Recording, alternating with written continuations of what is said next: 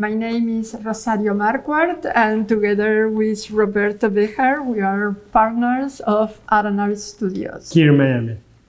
So we knew each other since we were very young, but then we met in architectural school. So since first year in school, we had been together. Yeah, and I was really lucky. She did all the work, and I only had to speak. So Yeah. Was- we're both architects and artists, and our work kind of travels from one discipline to the other. So for us, the medium is not as important as the, the trust of the work, which has to do with inventing places and recalling the past and inventing the future at once.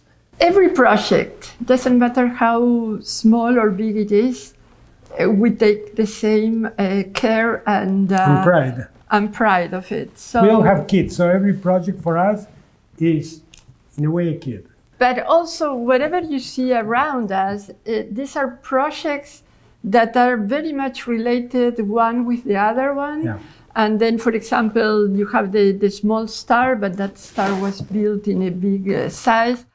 We are really looking forward for this tour. Uh, we had been in love with the museum for a long time. We have seen all the process of the museum.